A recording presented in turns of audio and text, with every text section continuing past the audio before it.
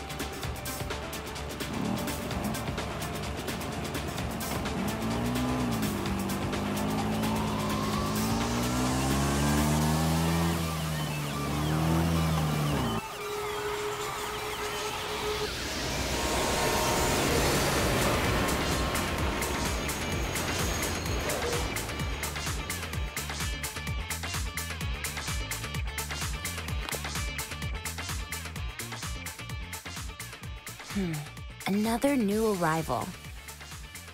Looks like things are about to get busy around here.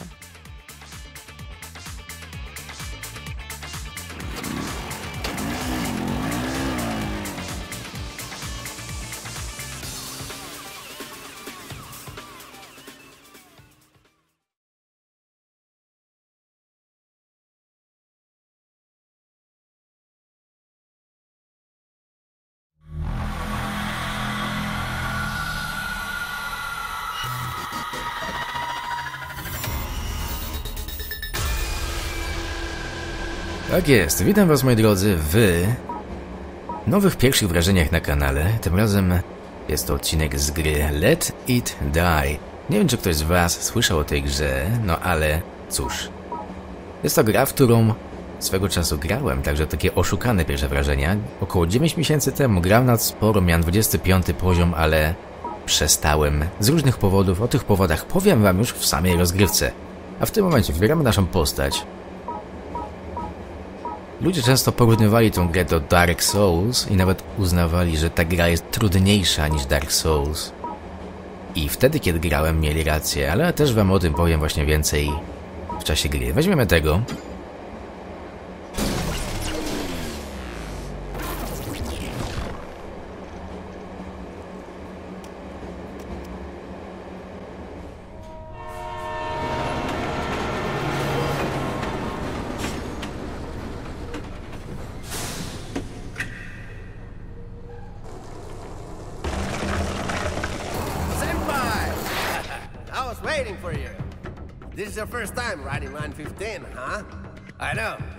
Very well-known line, I admit. Anyway, this is the last.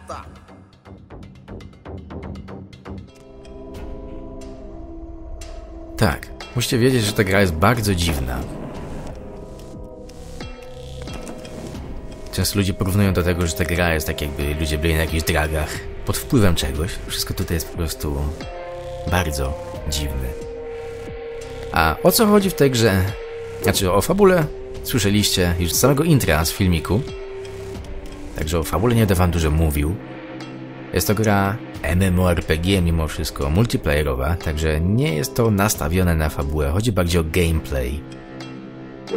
A w samym gameplayu chodzi o to, że później będziemy się spinać właśnie w tej wieży, o której było wspomniane. Tower of Barbs. Na filmiku było o niej wspomniane i mamy się wspinać w niej na coraz to wyższe piętra. Im wyżej oczywiście, tym trudniej. A to jest śmierć. Nasz wujek śmierć, jak on się nazywa? Uncle Death chyba. Jeżeli dobrze pamiętam.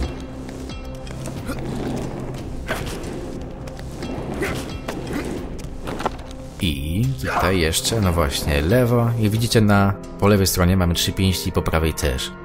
E, to odpowiada za lewą i prawą rękę. Widzicie, wcisnę L2 i R. To odpowiada której broni, bo możemy mieć bronię w obu rękach. O cholera, poszedłem w złą stronę. Czy tu się da biegać? Da się. I widzicie to, to serce, które się pojawia? Nasza postać ma staminę w taki sposób pokazaną. Za chwilę się zmęczy.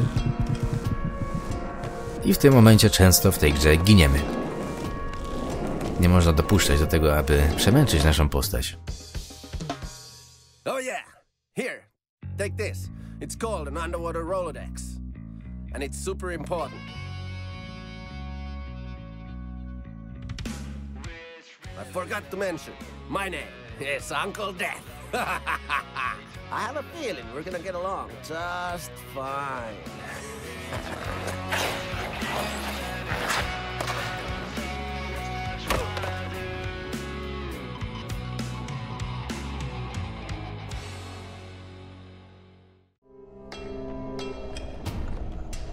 on sobie zniknął. Dał nam właśnie coś do... Typowy taki samouczek do tutorialu. Ale jak w to wejść? To jest, tak, to jest to Underworld Rolodex. I tutaj mamy wszystkie po prostu informacje, pocztę. E, gdzie to jest? Nieważne. Tak, tutaj jest wszystko po prostu, co nam trzeba wiedzieć o grze, o jej mechanikach i tak dalej. Ale więcej wam powiem. To co wiem, jak i o powodach, dlaczego tę grę opuściłem, jak już dojdziemy do huba głównego. Kegara. Czy my dojdziemy teraz do tego huba, czy muszę przejść jakiś level?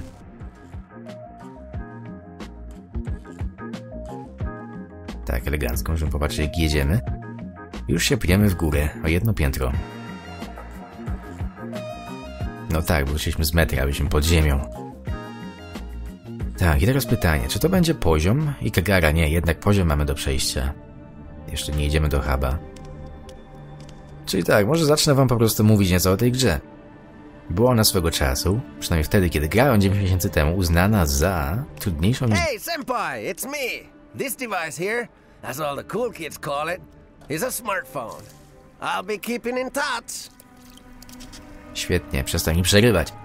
Bo uznana za cięższą niż Dark Souls, trudniejszą i było to prawdą, bo Dark Souls, mimo że był trudny, był sprawiedliwy. Ta gra niestety była trudna tylko po to, aby być trudna.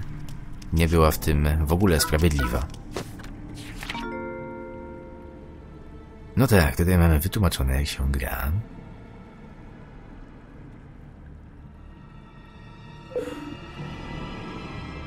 Ta gra była bardzo niesprawiedliwa, zbyt trudna. I do tego nie było tutaj poczucia tego, że się rozwijamy. Bo niestety rozwijamy tylko poziom postaci, o przeciwnik, rozwijamy tylko i wyłącznie poziom postaci, a większość gry będzie wyglądać tak jak teraz. Goli, bo każdy ekwipunek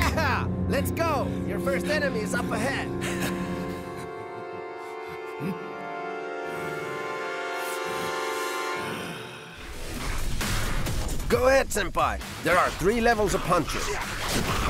kolega. If your heart rate gets too high, you'll start to get exhausted. So take it easy, buddy.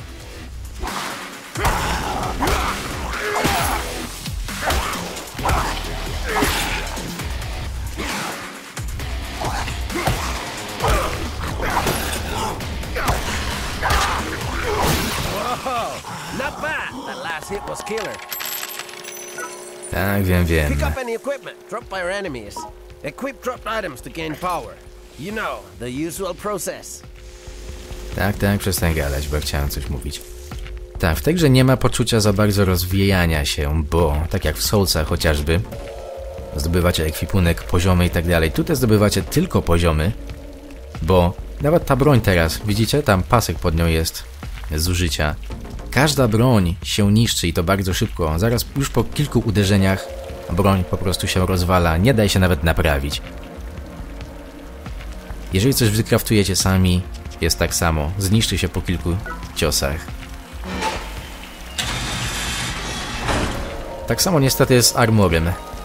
Jeżeli nawet macie jakiś super armor albo go wykraftujecie, to on się niszczy. Kilka razy was tylko ktoś uderzy i macie po armorze, jesteście nadzy tak jak teraz. Niezbyt fajnie.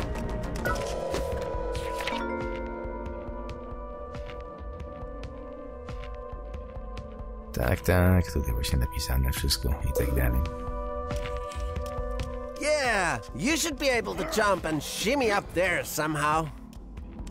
No shit. Do tego gra ma dosyć nieprzyjemne PvP. No tak, tutaj był ten Rage. E, ma nieprzyjemne PvP, bo wyobraźcie sobie, że gracie, zdobywacie tutaj walutę. Nie chcę wchodzić, by tam walka wyszła. Zdobywacie walutę i lithium chyba się nazywało punkty do levelowania. I jeżeli przestajecie grać, wychodzicie z gry, jesteście offline, inni gracze mogą zaatakować waszą bazę ukraść wasze pieniądze oraz litium, które zdobyliście. Ja kiedyś przestałem grać, bo uznałem, że nie mam czasu po prostu. Czy ja to mogę skoczyć? Mogę chyba. Uznałem, że nie mam czasu grać właśnie w taką grę, w którą ja muszę być online non-stop, żeby bronić własnej bazy, bo ktoś mnie okradnie, kiedy jestem offline. Także to było nieco niefajne. Niesprawiedliwe wręcz, rzekłbym. Czy ktoś tutaj jest? Nikogo nie widzę. Hey, up ahead, they look. Time for some killing. Dwóch. You can either block or evade enemy attacks.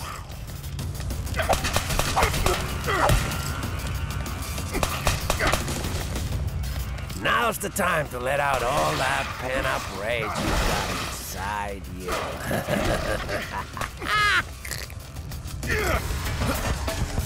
Nice!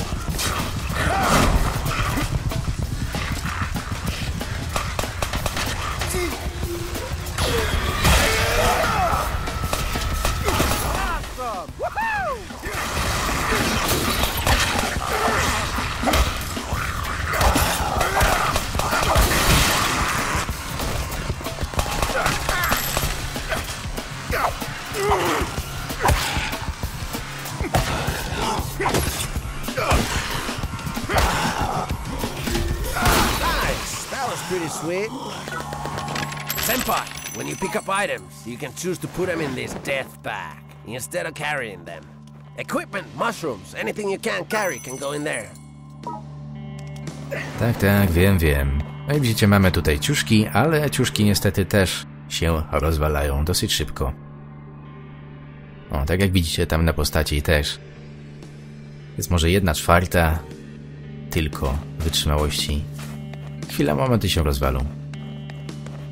Tak jak mówiłem, właśnie to PvP mnie bardzo zniechęciło do grania.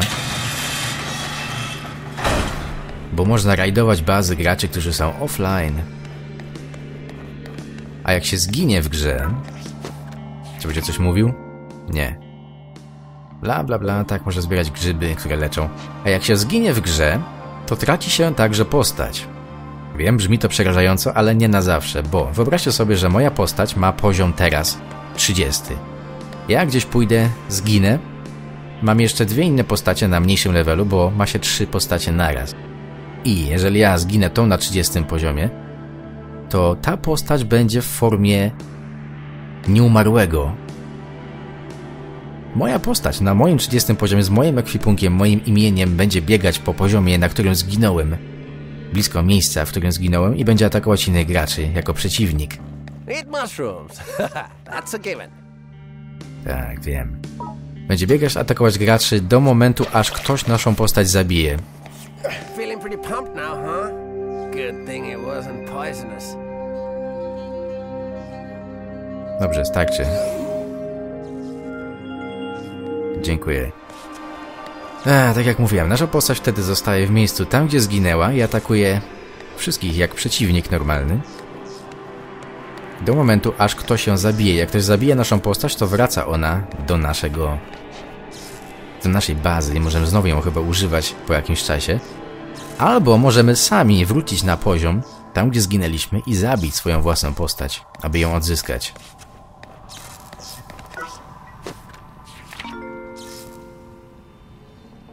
Bla, bla, bla, bla, bla, bla.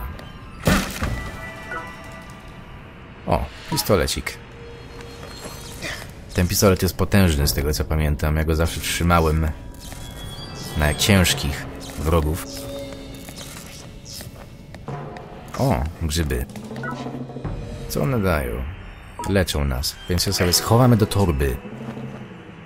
Bo mamy pełne życie. Co ja w ogóle mam za noże jakieś krwawe, poprzyczepiane do siebie?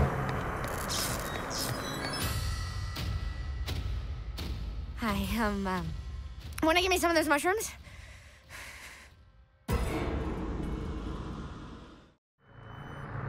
Ja ją znam.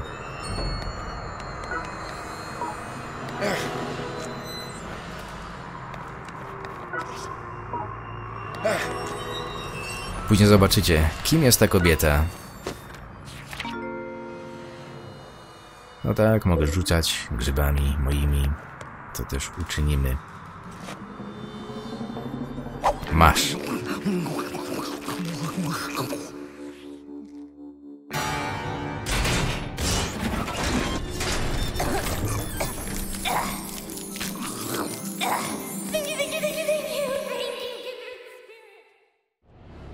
Tak, ona ma trochę nierówno pod sufitem. Jest uzależniona od grzybów i zresztą zobaczycie dokładnie co mam na myśli, jak wrócimy do naszego miejsca wypadowego, do naszej bazy.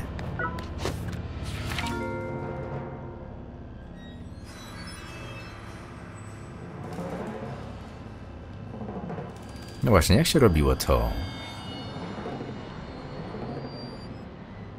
A, okej, nieważne. Senpai! Can't wait to see your next battle. You're gonna get killed. Ja nie chcę zginąć. Let's get crazy with it! Be courteous, but fuck shit up! Perform a killing blow when your opponent is knocked out.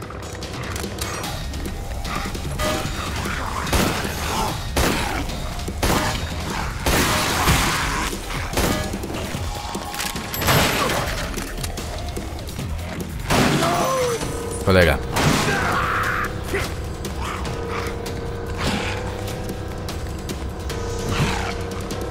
Jak ja mogę zmienić broń? Aha, tak. Okej.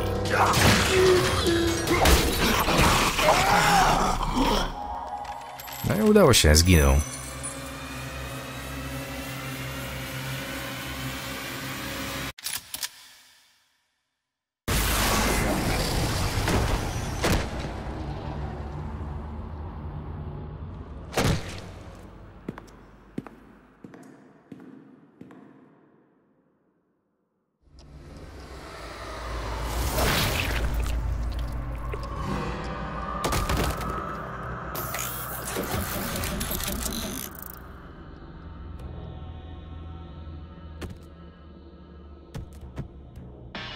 Wanna try again? Oh, wait. Let me put the title logo up real quick. You know how these things go. Woohoo!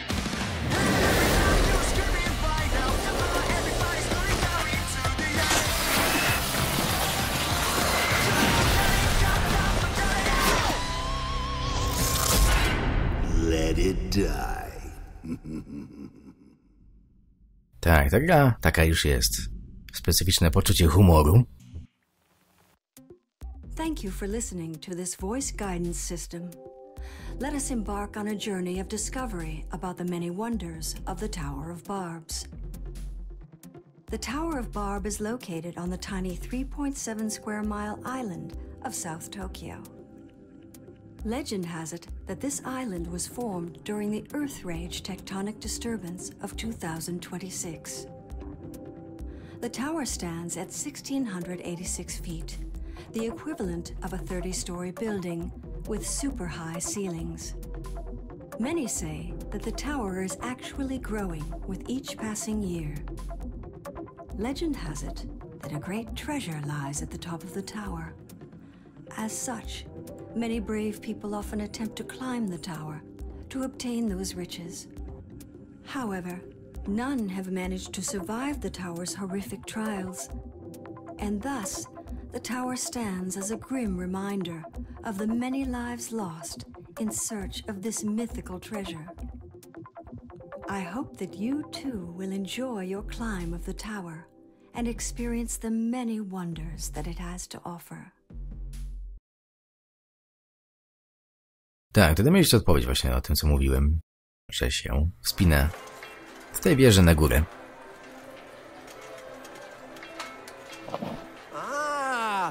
Waking up. You seem sleepy, so I turned it off. Huh? I'm talking about the Death Drive 128, of course, man. You were just playing it, remember? hey, pretty cool, huh? Pretty badass? it's the best game console ever, and this game, let it die. It's probably the greatest game ever made. Yeah! The goal of the game is pretty simple. Just make it to the top of the Tower of Barbs. It's like a hack and slash, roguelike kind of a thing. What the? Hey, dude, you're a gamer, aren't you? Then you'll totally be fine. Just try it out. I'll set it up for you. Okay, all ready to go? Let's get started! I'll start the game.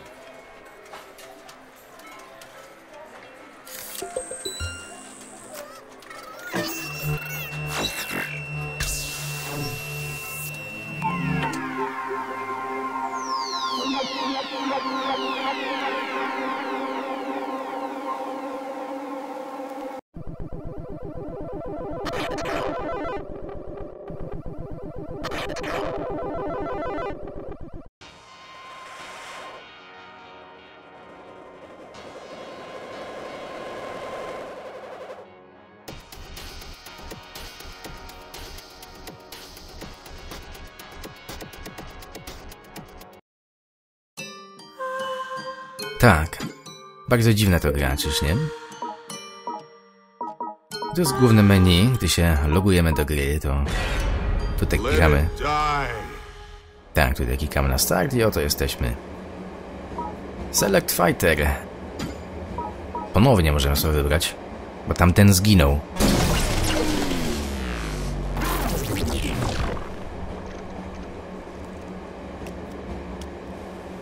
Tamten zginął w tutorialu. Taki jego los marny.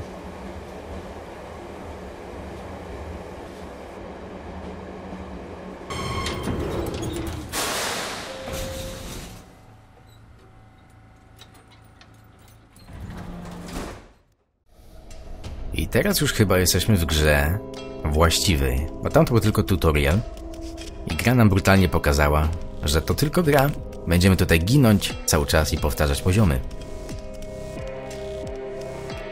Zresztą jak widzicie sami, tutaj ludzie, którymi gramy, to są tak jakby ciała. W bazie będziemy mieli zamrażarkę z ciałami, gdzie będziemy mieli własnych wojowników. Ciekawe. O właśnie. Oto jest nasza baza. To jest nasza baza ludziska. Poczekalnia, waiting room. Tutaj będzie miejsce do PvP. Tutaj będziemy mogli atakować innych graczy, jak i ustawiać jakieś tam obrony dla własnej bazy. Tutaj jest kibel. Ja pamiętam, że atakując bazę, gracze często mają powiedzmy dwie dwie postacie? Bo można mieć chyba trzy albo cztery postacie, albo więcej, już nie pamiętam. I pozostałe, którymi nie gramy, można wyznaczyć, aby pilnowały bazy, kiedy jesteśmy offline, więc powiedzmy atakując innego gracza, jego inne postacie bronią bazy. I jedną z jego postaci można mu ukraść. Tak, i wtedy stawia się, nie stawia, tylko sadza się jego postać w kiblu. I on ma ileś tam czasu, aby uratować swoją postać. Jak nie, to nią traci i ta postać będzie nasza, ukradniemy mu ją. To też jest powód, dla którego właśnie przestałem grać, bo tak jak wam mówiłem, kiedy jestem offline, gracze potrafili wpaść do mojej bazy, ukraść mi moje pieniądze, ukraść mi moje lithium do levelowania i nawet ukraść mi mojego fightera jakiegoś, czy coś w tym stylu, bo ja byłem offline przez kilka dni, nie miałem czasu grać. Tak, zaraz wrócimy do tej kobiety z grzybami. Tu jest nasze lithium właśnie, a tutaj nasze pieniądze i to nam gracze kradną. Tutaj codziennie mamy prezent za logowanie bodajże. Czytam. Dobra, przeczytajmy to. Tak, tak, tak. To jest o windzie. Tutaj codziennie, chyba co 24 godziny, czy jakoś tak dostajemy prezent. No właśnie. Zobaczmy, co nam dał. Nasz wujaszek. Broń. Młot nam dał. No świetnie. Cudownie. I tę, tą windą się jedzie na misję. Tutaj się kupuje i kraftuje bronię. Bla bla bla, bla bla bla, tak, tak, pokażę wam. Bo dostajecie w misjach blueprinty. Welcome. Our express service is all you need to climb the tower.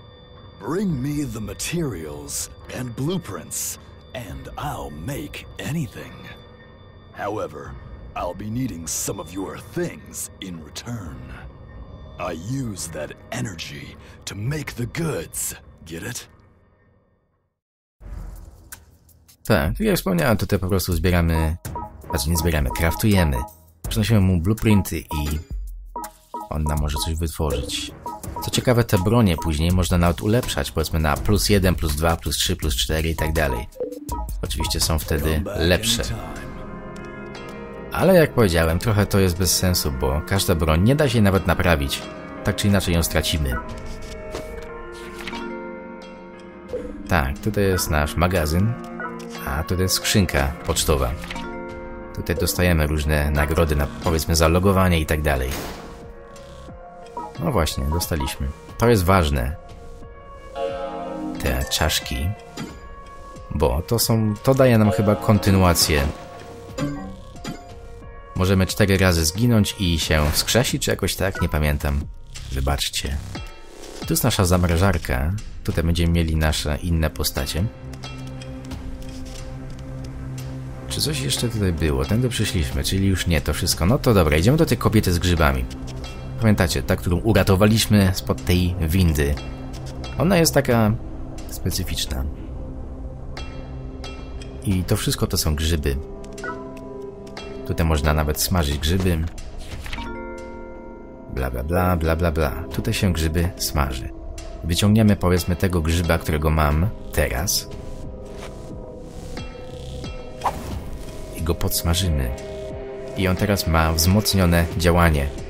Tak się po prostu go ulepsza.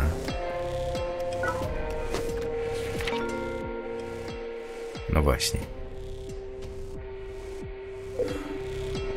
I to jest ta postrzelona kobitka.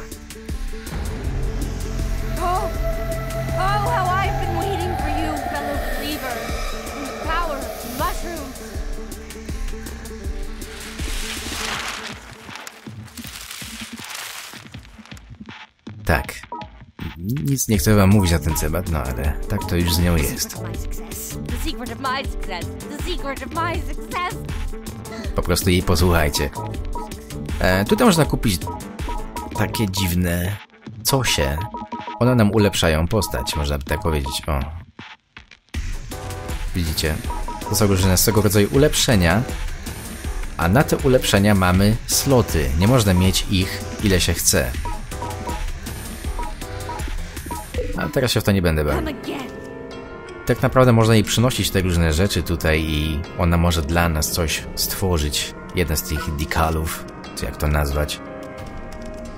No co, całkiem ciekawa mechanika, no ale cóż. Je także można stracić, kiedy umrzemy z naszą postacią, co jest niefajne. No ale moi drodzy, myślę, że tutaj chyba skończymy ten odcinek, bo już jest ponad 30 minut. E, a, jeszcze chciałem wam wspomnieć właśnie o tym, jeżeli pamiętacie, mówiłem wam właśnie, że jak się zginie w grze na jakimś poziomie, to nasza postać jako taki nieumarły, niezależnie od nas, biega tam i albo możemy pójść i zabić własną postać, która tam zginęła, aby ją odzyskać, albo czekać, aż jakiś gracz ją zabije. A do tego czasu, dopóki komuś się nie uda, nasza postać będzie tam czyhać na innych graczy i ich mordować. I ma to także swoje minusy. Na początku wydawało się to fajnym pomysłem, ale gracze, jak to gracze, chcieli utrudnić, uprzykrzyć życie innym i wyobraźcie sobie takich cwaniaczków, że powiedzmy ktoś ma postać na 50 levelu, idzie na jeden z pierwszych poziomów w grze, gdzie chodzą postacie mające, nie wiem, drugi, trzeci poziom. Ten na 50 levelu wchodzi tam, daje się zabić tym nisko levelowym mobkom, stoi tam godzinę, daje się bić i w końcu umiera. Po to tylko, żeby jego 50-levelowa postać tam była i uprzykrzała życie właśnie nisko-levelowym graczom, którzy mają powiedzmy drugi czy trzeci poziom. I wyobraźcie sobie, że gracie, a nagle wam wyskakuje taki nieżywy gracz, nazywa się hater. Wyskakuje wam taki 50-levelowy hater i was zabija na hita. I nie daje nowym graczom niestety rozpocząć dobrze gry. Tak robili. Także mi się tak zdarzało, niestety. Nie wiem, czy dalej się to zdarzy, no ale cóż. To jest miejsce, w którym można wrócić do normalnego świata. e, Tam, gdzie wtedy ten wujek śmierć siedział i nam włączył grę. No ale mniejsza z tym, ludziska. To jest taka gra właśnie. To sobie ją pobierzcie na PlayStation 4. Jest chyba ekskluzywem na PlayStation 4. Jest darmowa, tak więc wejdźcie sobie na PlayStation Store i ściągnijcie. W każdym razie, moi drodzy, na razie to będzie tyle. Dziękuję Wam za oglądanie i do zobaczenia w kolejnych filmach.